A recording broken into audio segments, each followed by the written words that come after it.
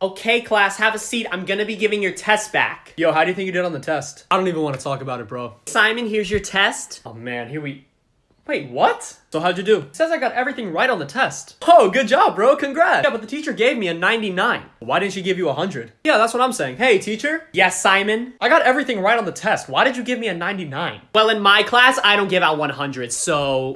Why? Because there's no such thing as perfection in my classroom. But I did the best that I could. But that's the point of the lesson, is that you can always do better. Not on this. I didn't get a single thing wrong. Oh, so just because you got all the questions right, I should just give you a 100?